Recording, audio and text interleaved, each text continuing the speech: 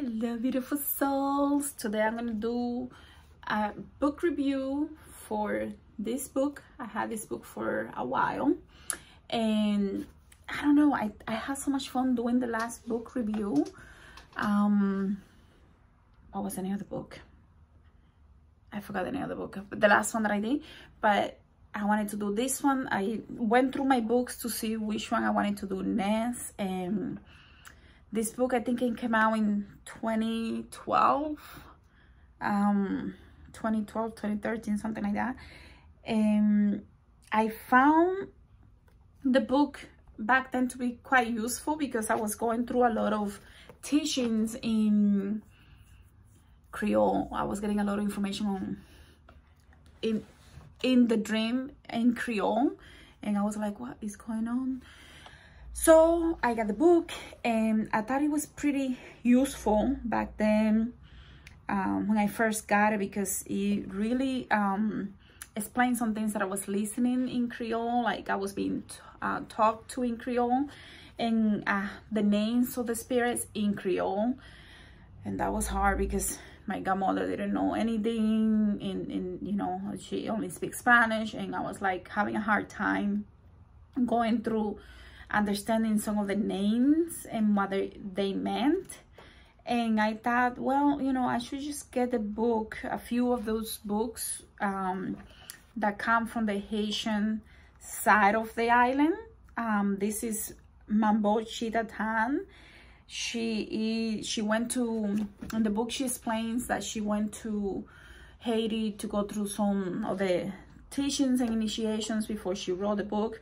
So I'm not going to go through the first part of the book because I think, you know, um, the history also talks about the history of ID and give us a little bit of the background of the Africans that made it to the island.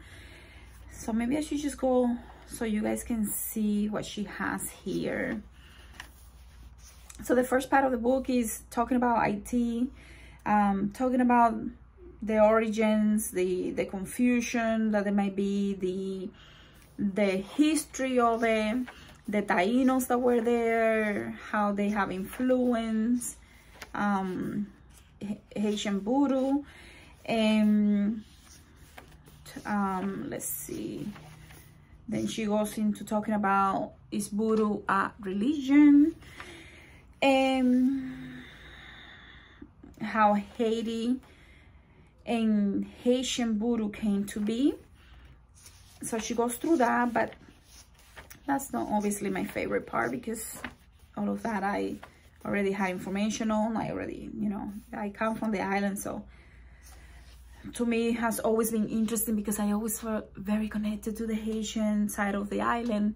And even when I work, when I was working in the hotel industry, um, those connecting to those um, Haitian um, managers or even my boss, one of my boss was Haitian and we developed such a strong relationship and I remember like learning, wanting to learn to speak Creole but never making the effort because I was too lazy.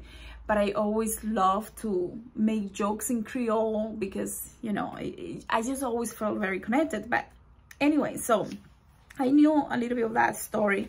So I'm going to start with, see where I want to start. I think I'm going to start with the, so she goes over explaining the alto. She goes over to explain uh, Bon Dieu and the universe. Bon Dieu is the good God. And she talks about the Luad, who are they? And then she talks about ethics in Voodoo and confusion and controversies in Voodoo, Haitian Voodoo compared to Louisiana saying, um, not Saint Louisiana, um, Louisiana versus Haitian Voodoo and the confusions and controversies of that. Uh, so basically Haitian Voodoo compared to Hoodoo um, and the fact that it's not and this and that. So New Orleans Voodoo compared to Haitian voodoo and the sacrifices in voodoo. Oh, wait, I don't remember. Anyway, so um, she talks about that. Let me just see. When she talks about the sacrifices in voodoo, she addresses the large confusion and controversy that outsiders of the tradition will confront. the nature of sacrifices, particular animal sacrifice. The Lua or Haitian Voodoo requests many things as offering or gifts as part of their ceremony and services. Like in my side, like we don't do sacrifices, so I'm I don't remember reading this when I when I first got the book. Um, but she talks about animal sacrifices in voodoo, the, the oils, the perfume, the mirrors, and all of that. And then she goes into the zombie, the voodoo dolls, and trans and possession, transpossession and how that happens, outsiders in voodoo, Catholic symbolism in voodoo, and then to the part that I want to talk to you about today. Um, the nations of the Loa.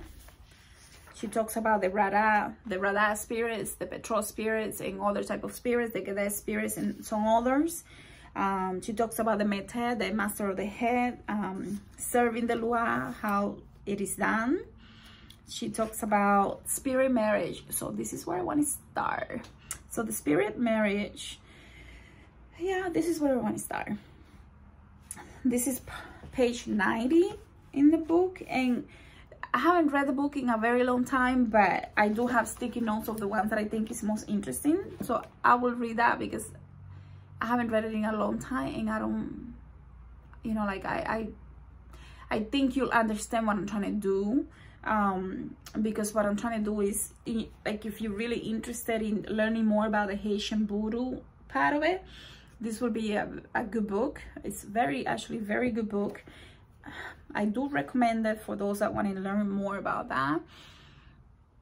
It helped me with the Haitian names because I didn't have the Haitian names of the book of the different loases, so it was actually very good for me for that. But in my dreams, when I get those names in different languages, it's very confusing, so that's why I got it. Um, but here, um, somebody recently asked me about the, the marriage of the spirits, and I thought that it was interesting that I found this today after going through the books that I wanted to talk to you about because I I have forgotten I had this book and here she talks about how the spirit the Lua will normally tell the the person the priest or priestess that they want to marry and you know in my side we don't do that we don't do um, marriages like that but in the it is more common now for Dominicans to start I have seen it more commonly in Dominican Republic, but this is something that I think happens more often in Haiti. And the marriage of the Luad, here she says, um, the marriage Luad is exactly like what it sounds. It's a marriage with the Luad, with the spirit. And she's talking about being a marriage contract and there is a recession, there is cake, there is champagne, just like if you marry someone, but this is with a spirit, with a Lua. So normally the person doesn't really ask the spirit. It's the spirit that has to ask the person to, to accept the marriage. And if the person accepts, they have a full wedding with a reception cake and everything. And it is also consecrated in the spirit dimension, um, in the dream dimension, meaning when we go to sleep, we can consummate that by allowing the energy to come through and you guys that i hope you know what i mean.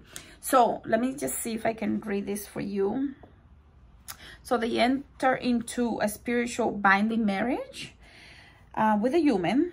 And there are many benefits to this um, according to her.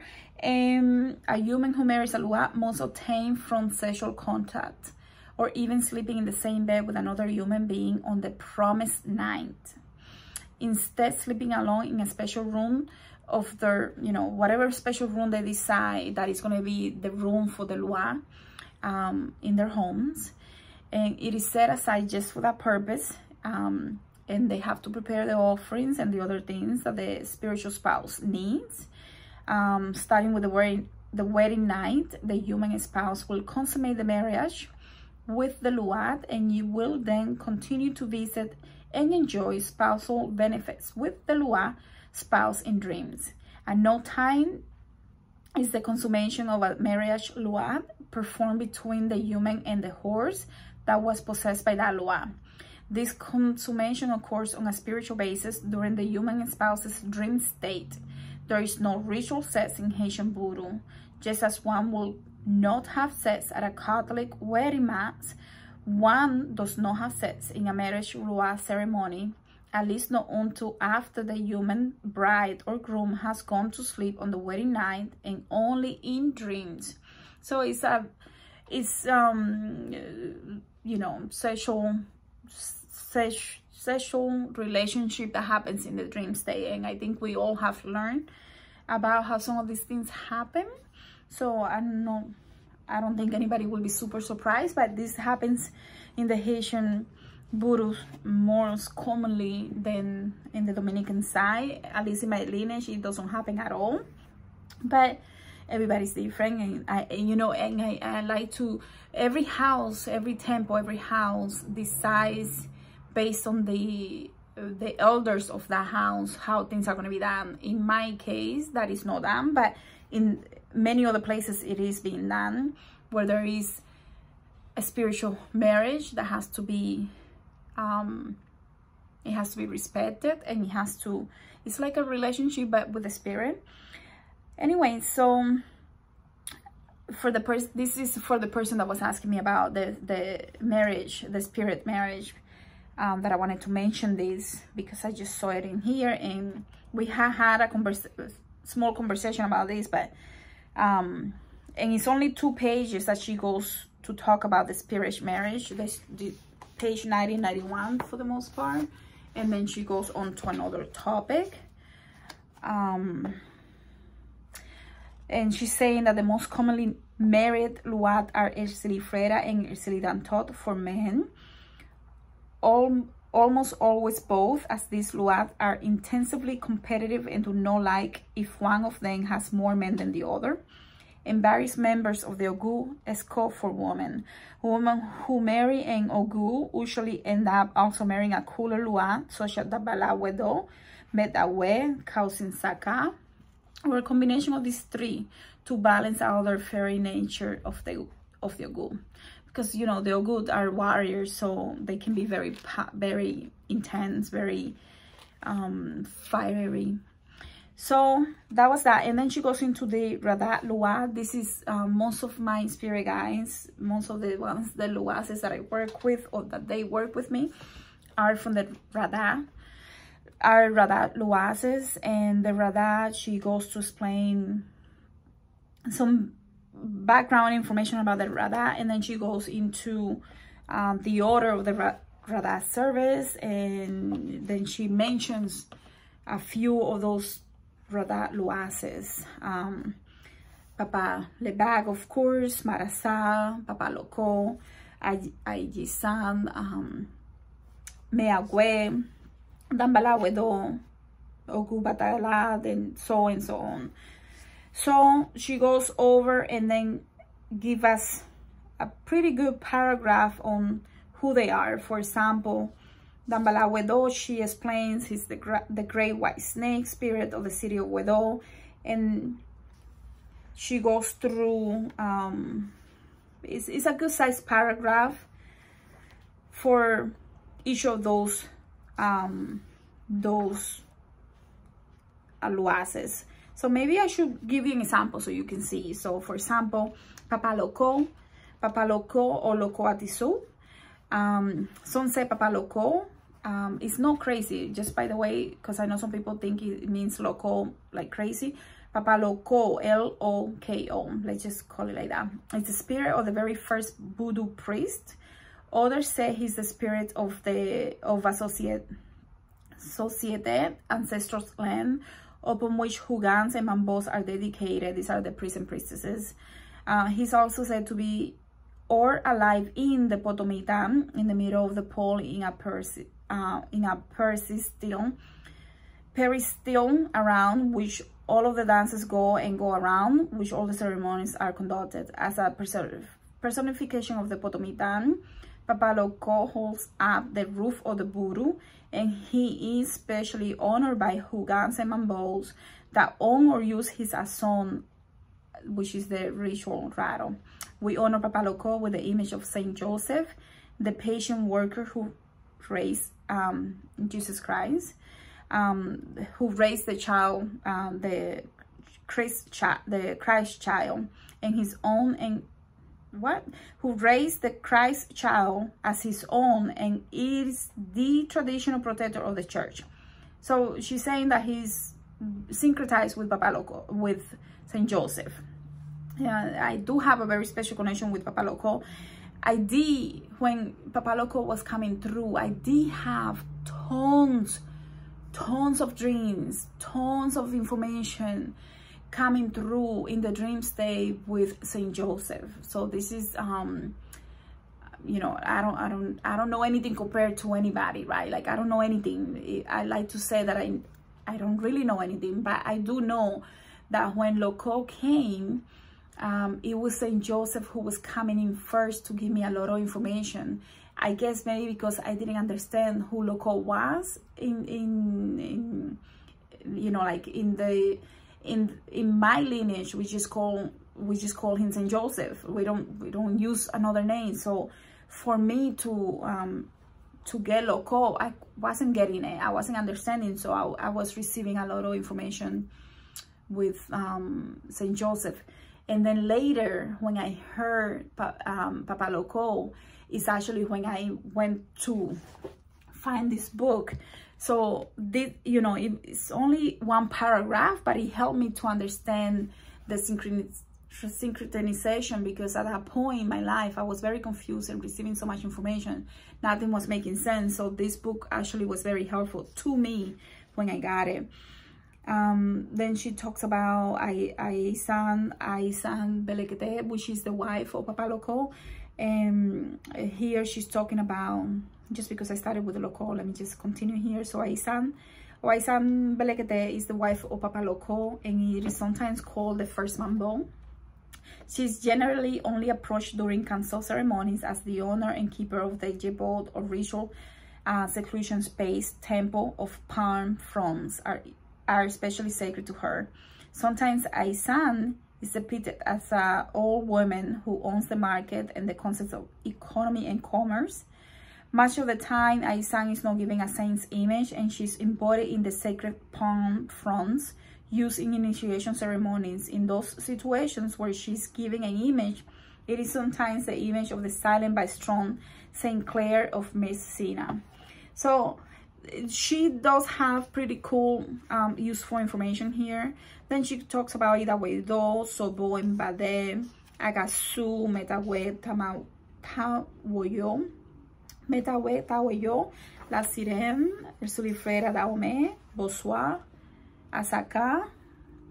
And then she goes into the Nago division with um, Ogun Asai Osani, Osanje, sorry, Osain, Osanjin, oh, so many names um, Ogu Batala, Ogu Sanjak, Ogu Balagri, Ogu Ferrai, Ogu Ashade, Ogu Shango, Ogu Balenjo, and so on. And then she goes into the Petro division. The Petro division is the Petro of the, um, you know, very fire, very intense, very wire-like. They're like, they're ready to get the job done. They're very, very in intense. And these are the the Petro are those that really originated, um, if we can call it like that, originated in a in ID because they needed to defend themselves from what was going on with the with the slavery situation. So a lot of the spirits are said to be born there. Um, like, do I believe that they were born there? No, I do not believe that they were born there, but I do believe that's where the energy amplify. And that is my opinion. That doesn't mean that is true. So she talks about Papa um, Legba Petro, the Marasa Petro, Simbilo, Mekafu, Ercelidanto, Grand Bois. I do have a connection with Grand Bois and a lot of the Petro um, Luases. So, but most of my spirits um, team come from the Rada division. But I do have Petro in and get in there too and some of the others so but you know but i think um the information here is pretty cool she talks about the Gede Luas, the cemetery Luases, uh, Gran Baron, and all of those, fake. Um, all the Barons, Mama Brigitte, um, Gede Plumage, and so on. And then she talks about other Luases, and some of those Luases, she talks about the um, Point Show, and some of the ones that are considered slaves, um, like Luases that lower um let me let me just say this so i don't give you uh, i want to quote her because this is not this is her book this is not my book right? So the some of the the these laws that are part of the Petron nation some others seems to be outside of the traditional voodoo structure you may have read about the djab the djab um, is d-j-a-b djab point show or point achet or um, point oshtein,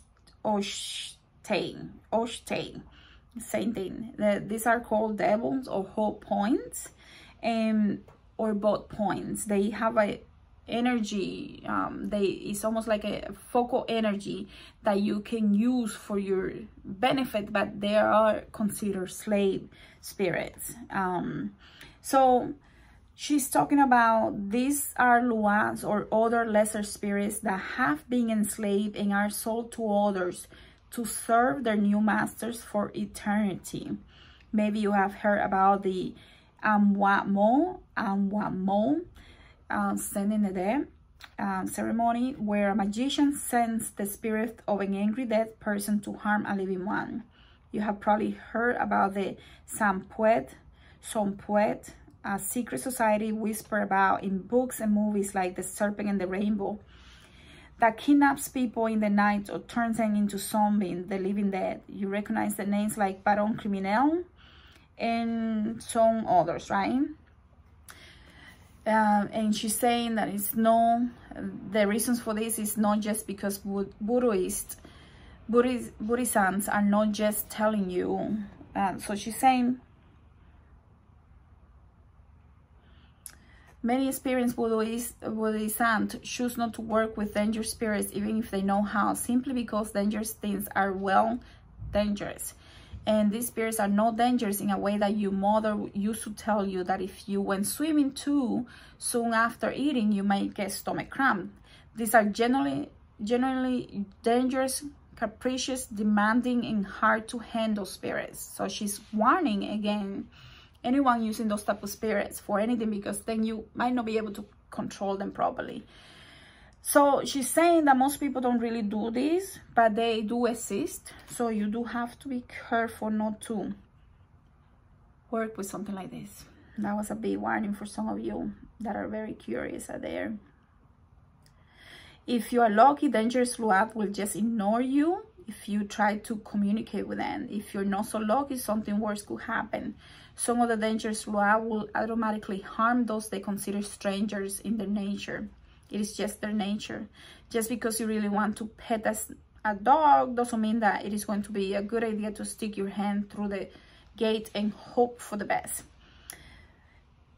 Uh, I debated including information about the dangerous fluad at all in this book, as some, as some people might interpret the author saying don't do it, as a dare to go right ahead, but I felt that I will not be able I will not be responsible if I did not at least make and explain my warning. So she's warning people to be careful not to work with this type of hot um, devil-like energies that are sometimes people using to slave. They are energetic. They are luases that are that you command them. But the thing is that if you don't know how to do that and you shouldn't be doing you shouldn't be doing that but if you don't know how to do that you could end up in a lot of trouble then she talks about the haitian um, ceremonies and rites of passages. And she talks about magic initiation and divination. And she goes forward to explain the different type of initiations and divination. But i wanted to read this one about the divination because a lot of people think that divination is just like when we are doing tarot or reading the coffee or throwing the coconut or something like that but a lot of the divination happens for the different priests and priestesses in the dream. So the dream state is very crucial. Haitian Voodoo uses many forms, she says in page 131, Haitian Voodoo uses many forms of divination and clairvoyance. Dreams are perhaps the most common for Vodouisants used um, form Vodouisants used to predict the future or understand messages from Bon Dieu, the ancestors, the Luat, and other spirits.